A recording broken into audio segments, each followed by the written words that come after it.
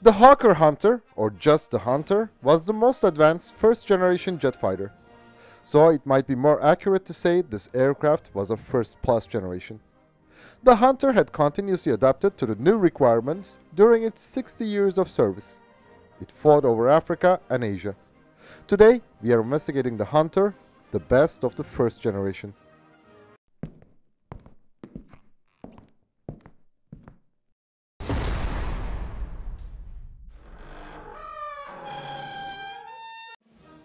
The Hunter is undoubtedly one of the most successful fighters in British aviation history commercially and with its combat career. Even though it was one of the latest examples of the first generation jet, this aircraft had long service life and went head to head with its technologically superior rivals in the market for a long time. The war-weary UK was optimistic about world peace after the Second World War and not keen to spend money on a new jet fighter development program.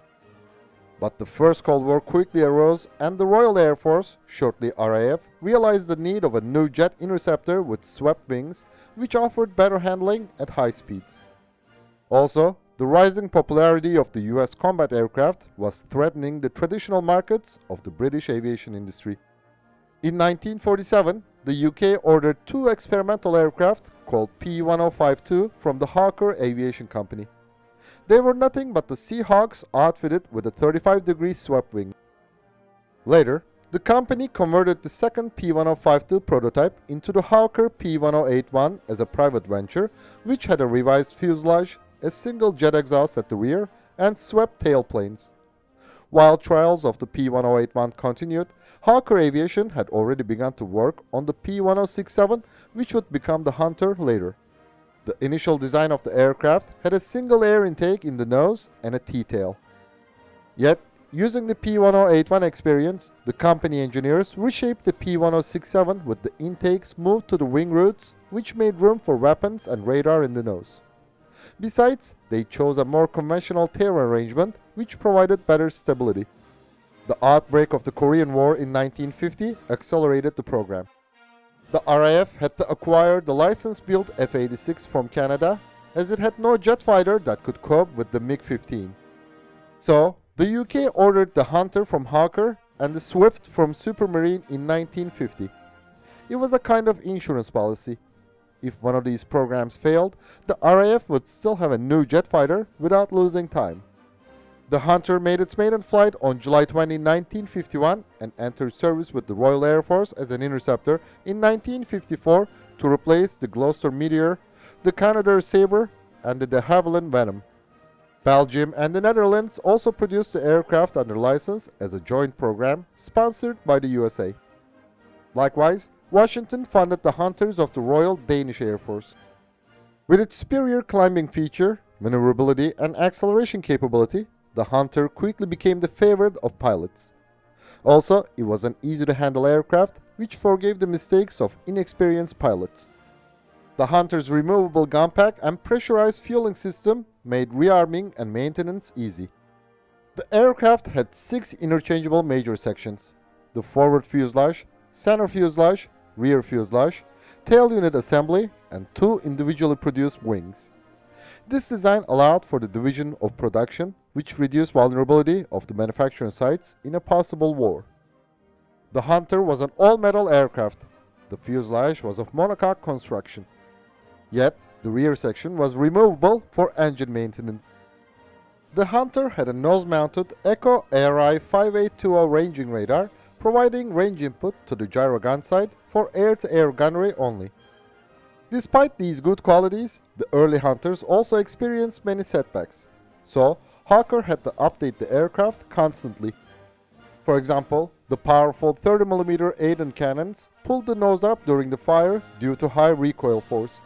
Later, the guns were fitted with recoil buffers looking upwards to solve this problem. Of course, this was a minor change. For more crucial problems, new variants were developed.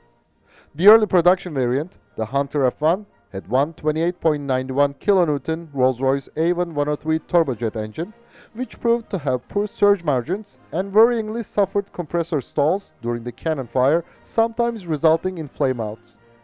The only difference in the F2 version was to have the 35.59 kilonewton Armstrong Siddeley Sapphire 101. This engine had better fuel economy but some reliability issues. A modified variant called Hunter Mark III broke the world air speed record for jet-powered aircraft, attaining a speed of 1,171.01 km per hour on September 7, 1953. The early variant of the aircraft had a critically short range. For example, because a thick fog didn't allow landing, 8 Hunter F-1s diverted to a second airfield 19 kilometers away. But it caused the loss of the 6 aircraft due to running out of fuel. So, the new variant, the Hunter F4, was fitted with bag-type fuel tanks in the wings instead of the rear fuselage tanks of the F1. This change slightly increased internal fuel capacity. Besides, the F4s had provision for 100-gallon underwing fuel tanks. This variant also had the 35.6 kN A1115 engine. Another problem for the early Hunters was that the ejected cannon ammunition links tended to strike and damage the underside of the fuselage.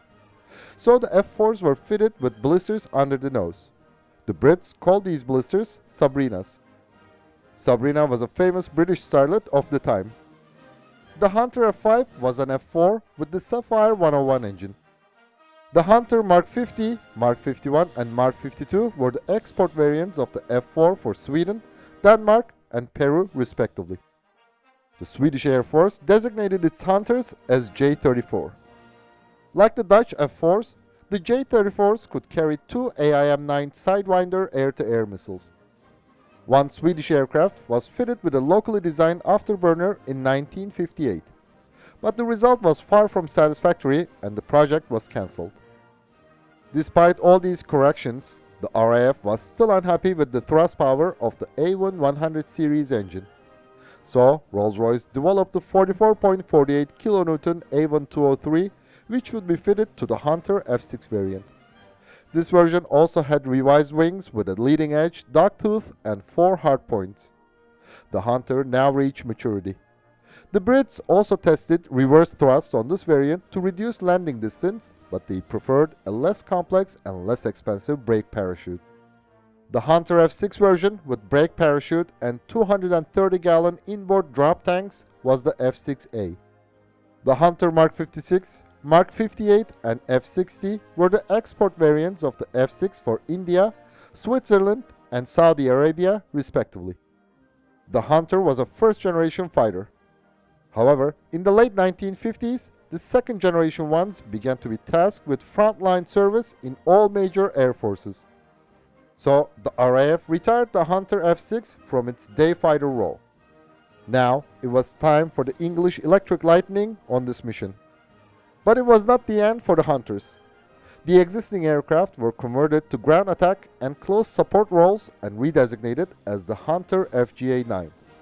This variant had 230-gallon inboard drop tanks, a tail chute, increased oxygen capacity, and strengthened wings. The Hunter FGA-56A, FGA-57, Mark 58A, FGA-59, FGA-70, FGA-71, FGA 73, FGA 74, FGA 76, FGA 78, and FGA 80 were the export versions of the FGA 9 for India, Kuwait, Switzerland, Iraq, Lebanon, Chile, Jordan, Singapore, Abu Dhabi, Qatar, and Kenya respectively. The Swiss Hunter Mark 58A could carry AIM-9 Sidewinder air-to-air and AGM-65 Maverick air-to-surface missiles. In the late 1970s, Singapore upgraded its Hunter fleet by equipping them with three additional hardpoints. The modernized FGA-74s were redesignated as F-74S. The Hunter T-7 and T-8s were the two-seat training variants of the aircraft.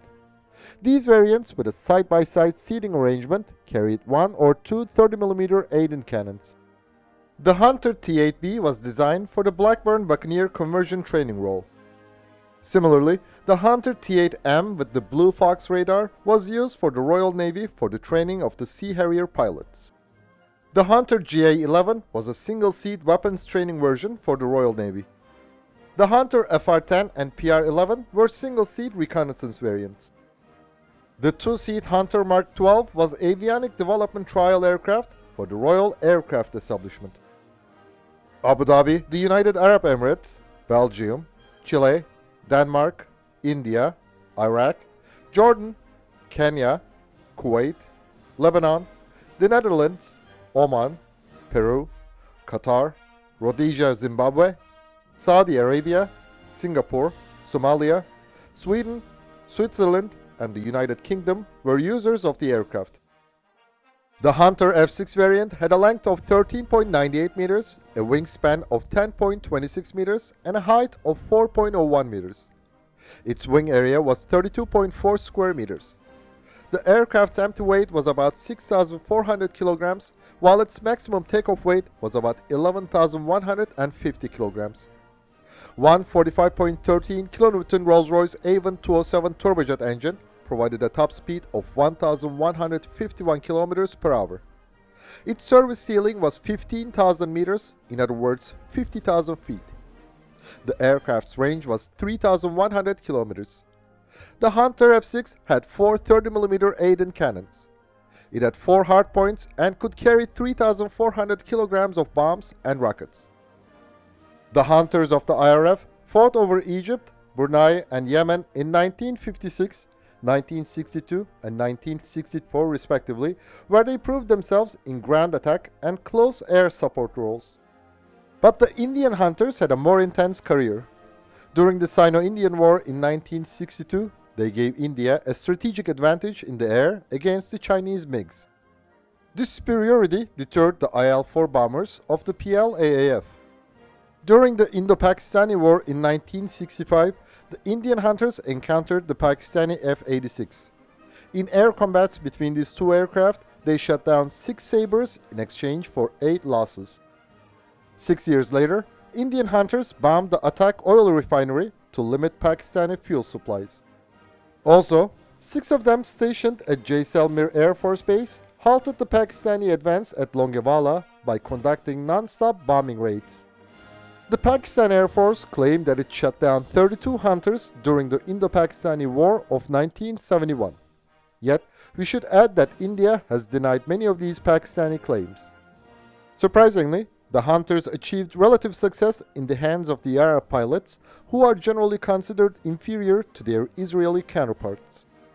A Lebanese hunter shot down an Israeli jet in the early 1960s. During the 1967 Six-Day War, Five Iraqi hunters raided the Israeli airfield in Kfar Sirkin and destroyed one Noratlas and one Piper Super Cub on the ground.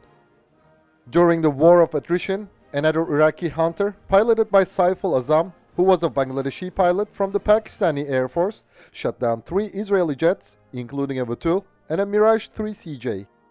The Jordanian hunters shot down two Mirage 3 CJs in 1964 and 1966, respectively. During the 1973 Yom Kippur War, the Iraqi hunters destroyed at least three SPHs of the Israeli 329th Battalion. But also, many Arab hunters fell victim to the Israeli Air Force.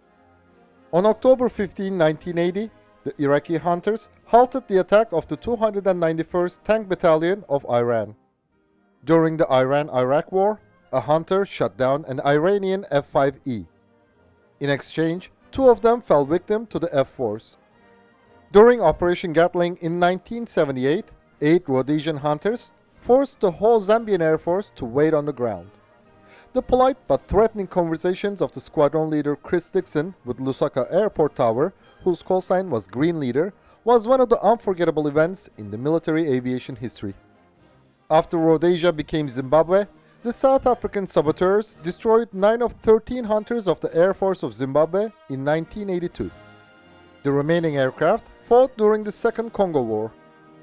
According to Egyptian sources, the Saudi hunters shot down two IL-28s of the Egyptian Air Force near Sana'a in 1966. These aircraft also fought in the civil wars in Lebanon and Somalia. Jordan used them to halt the Syrian tanks during the Black September crisis.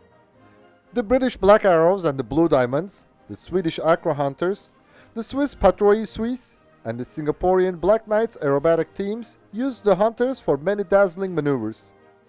In 2014, the Lebanese Air Force, the last user of the aircraft, retired the Hunters. After 60 years of proud military service, the Hunters are still flying with civil registration. It was the last and the most successful example of the first generation fighter jet. This old-timer bird fearlessly defied its second-generation rivals for many years. The Hunter, the pride of the British aviation industry, is indisputably a true legend. Thanks for watching our video. And please don't forget to subscribe to our channel and click the bell button to be notified of our new videos. Also, you can now click the join button to support our channel. And as always, we would greatly appreciate all of your likes, comments and shares.